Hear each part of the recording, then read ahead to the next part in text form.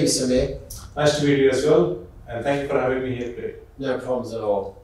So, um, tell us a bit about Parramatta Council. Like, I know that there's been some great initiatives to help the aging community, the disability community, and um, I think it's uh, very important for this Parramatta region. Like, could you just talk a bit about that? Absolutely. So, as a city, I think um, we have 20% of our population have some form of disability. That's the statistics generally. And uh, over 28% almost of our population are over 50 years of age. Now we have a responsibility obviously to look after all community. And uh, in this in the last four years, I've tried to do, a, I've taken a range of initiatives to in, increase and improve the engagement with people with disability. Some of them are around, um, for example, in making our city age-friendly and uh, inclusive. As part of that, we look at the footpaths, make sure that the footpaths are easy to access. We look at uh, a range of other measures we have taken um, to make the city age-friendly and um, inclusive. Um, we have also done work in terms of uh, um, for people with disability, if I can take a step back and explain the process of submission. So when there is a DA, for example, um, the submissions are supposed to be in writing. Yeah. Now, that to some extent disadvantages people who might not be able to write and they might have some disability. Yeah. I've taken an initiative where we have um, uh, where we have provision for people with disability to call a number and then they can put a submission verbally and that will be recorded as a submission. And that's something which is quite unique, which we have taken um, uh, on board yeah. in Parramatta. And I would like this to be uh, spread and extended to other councils as well, which provides people with disability uh, a voice in council and in, in, in, terms of any submission um, to be done to council. Most recently, I've taken the initiative to uh, celebrate and acknowledge the work of people with disability by celebrating uh, International Day for People with Disabilities on 3rd of December.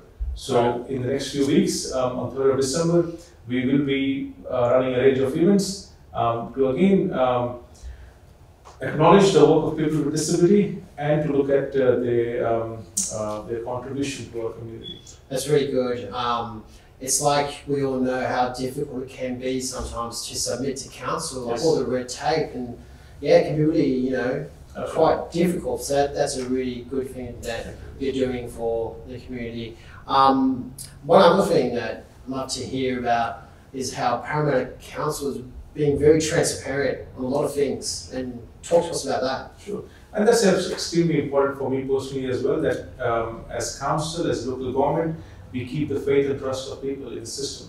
And one way to go is to obviously report back on range of things that, council, that happens within council.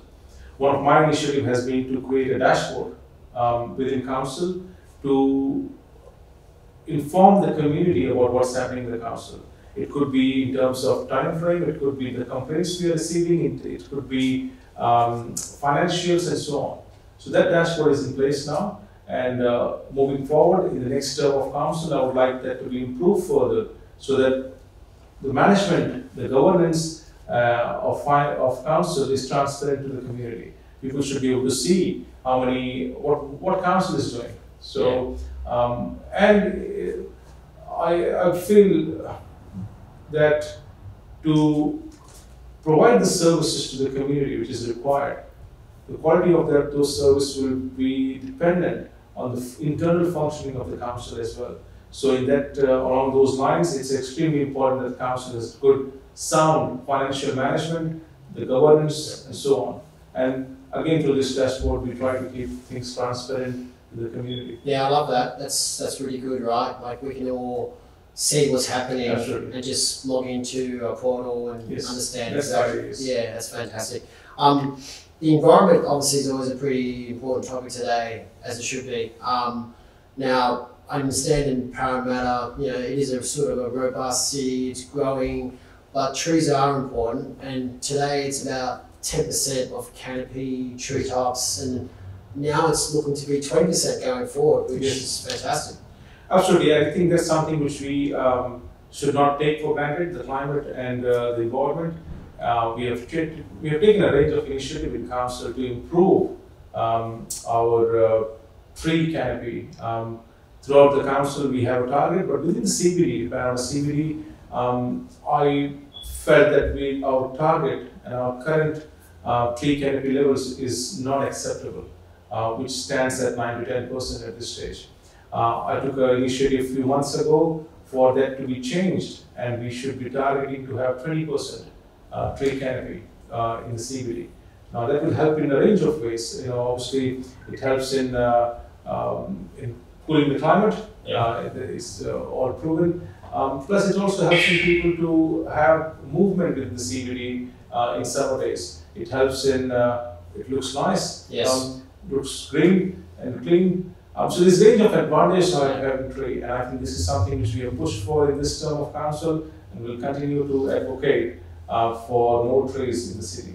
Yeah, it's great. You know, I, I'm a local. I grew up in Parramatta, out in Greystanes, and it's great to see the actual city of Parramatta really evolving and some beautiful architecture, some nice buildings coming through, and, and, and hearing you know these developments is really good. Sure. Um, one area too of the city, which is awesome, is uh, you know I've heard and you've talked a bit about this to me, is how it's evolving into a smart city, and you know that's something that you know I, I love to hear. I, I do have an IT background, and obviously when you hear about smart city, it sort of relates to information technology.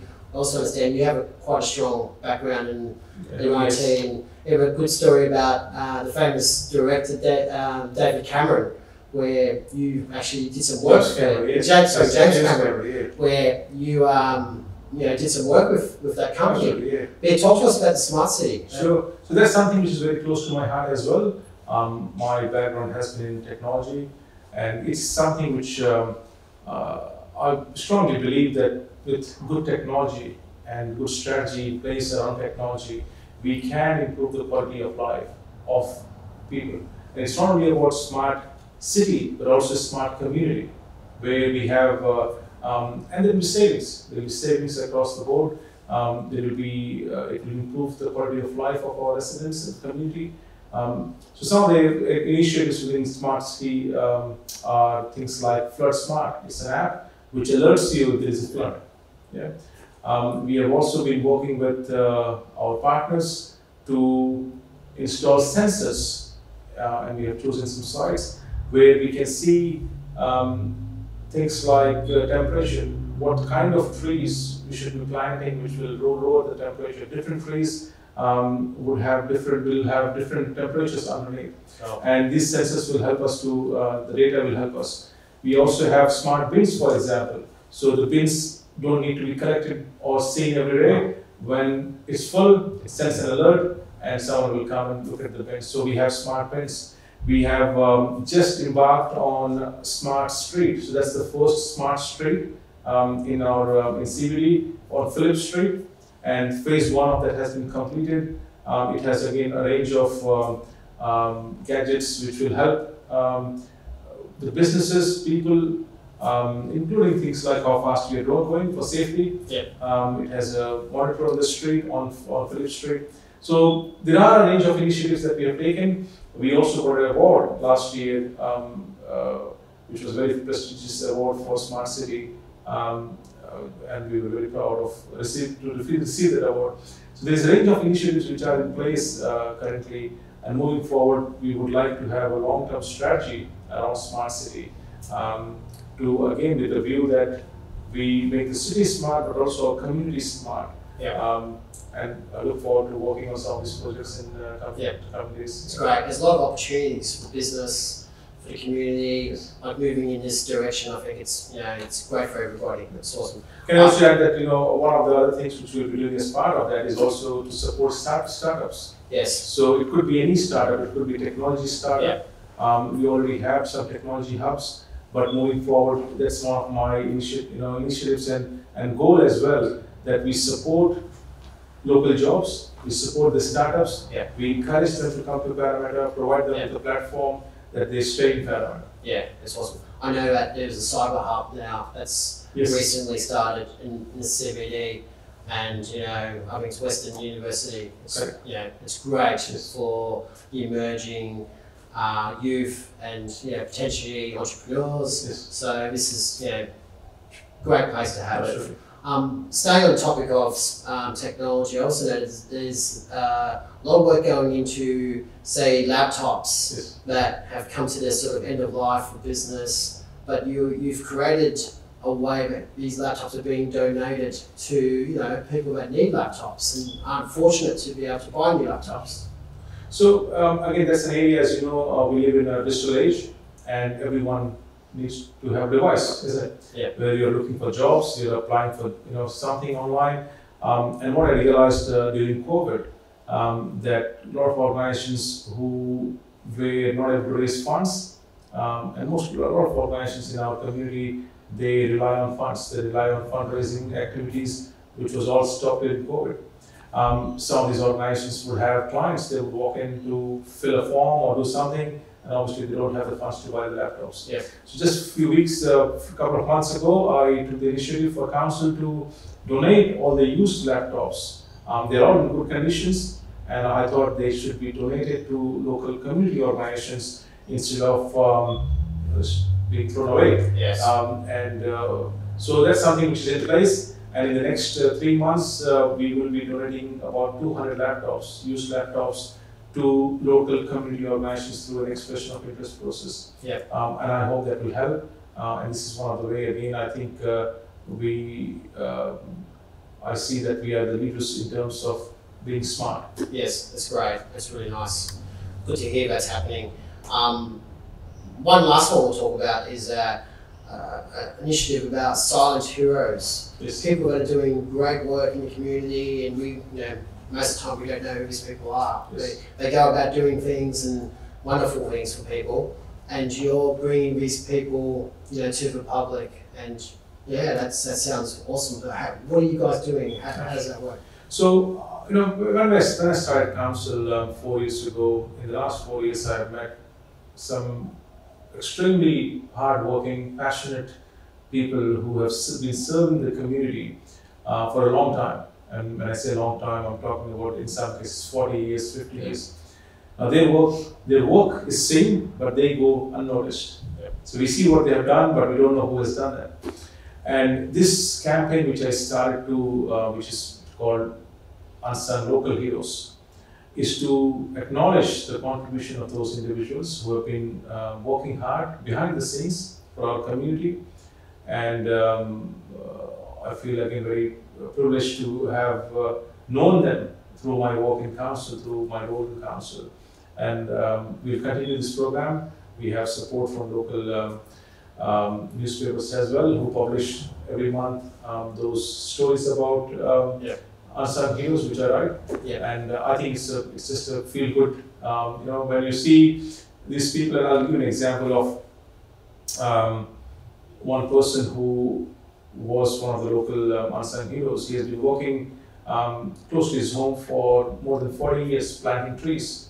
Um, and uh, in peak summer, summer when we had the drought, he would carry water cans from his home and plant, you know, water every single uh, plant. Well, he doesn't have to do that, but Yeah. that's, you know, he's passionate. Now, trees which has, he has planted 40 years ago, they're all you know, shrubs and small plants, they're all big trees. People use them, there's shade, there's reserve uh, full, of- full of those trees. Yeah. Um, obviously, you don't know who's planted them. But through this exercise, um, I have highlighted the work that uh, this person has done and what he has achieved for the entire community. So um, I think there are so many of these ones, and if um, your viewers and audience know people in Parramatta who needs to be acknowledged, there are a lot of them, Yes. um, and sometimes we don't see them. Yes. So this is uh, um, the, initi- the initiative and the idea is to acknowledge their work. Yeah, it's nice. It's a nice touch and very deserving for people that do so much for the community and you know unsung heroes, as you say. Um, could we have one final message to the community? Sure. Yeah, it'd be great. I think, you know, um, four years ago when I got into council, um, I wanted to give back to the community. That was my motivation to get into council. Over the last four years, I have been involved in a lot of campaigns. And my motivation has been um, people. And, and um, those campaigns has given me motivation again to run this time. Nice. Now, I would like through you again for people to um, keep the faith and trust in local government. And that's something which I work extremely hard to uh, keep that faith and trust. I would like them to um, have that faith and trust in the system and approach the local government um, and councils if they have an issue. I would also like them to keep the campaign going. So there's a lot of small groups um, who run different campaigns on behalf of um, their community advocacy groups. And I think I would again encourage them not to lose heart. If they have something which they're passionate about, you know, contact your local councillors, irrespective of where you live, um, and uh, um, keep the work going. The elections are coming as well, and I would like to again to you uh, send a message that make the you know make a decision. Make sure you vote on 4th of December, and make sure that you do your homework to see whom you're voting. Your vote is extremely important. These are the individuals who will be making the decision on your behalf um, for you. So it's extremely important that you do your homework, look at the candidates, call them. Their contact numbers might be out there. Call them, ask questions. This morning, this evening, in fact, when I was coming here, I had a call from one of the residents who called me and said, uh, I have a few questions. Yeah. And I spent, in traffic, I spent about 25 minutes with this uh, uh, individual. Um, range of questions. I think that's what I would like people to do. I welcome those feedback. That's I good welcome feedback. the questions. Yeah. Um, and I think this is it's absolutely important that uh, um, community. See, for me again, a lot of work that I have done is not my work. Yeah. It's community's work. Sure. They have come to me with a problem and in some cases possible solution. I have just taken that to a next level The voice. uh, Yeah. to the voice. yes. And that's what uh, I would like people to um, uh, look at the voice, not the noise. There's a lot of noise, Yeah. And I think keep the voice, uh, have the faith, um, you'll find people who will support you. Fantastic, Sameer. Well, it's been a real pleasure to meet you. I wish you the very best and uh, good luck. Thank you very much. Thank you. Pleasure. Thank Thank you. you. Australia's first Indian magazine to have a national reach, Indus Age is the largest circulated South Asian magazine in Australia with five simultaneous editions, 55,000 copies printed monthly, 220,000 readers, largest network of clients, undisputed leader in community news. Indus Age is circulated in Sydney, Melbourne, Adelaide, Brisbane, and Perth to over 525 outlets. Grab your copy now to get the latest on the community, news from India, Bollywood, music, and much more. For more info, log on to www.indusage.com.au.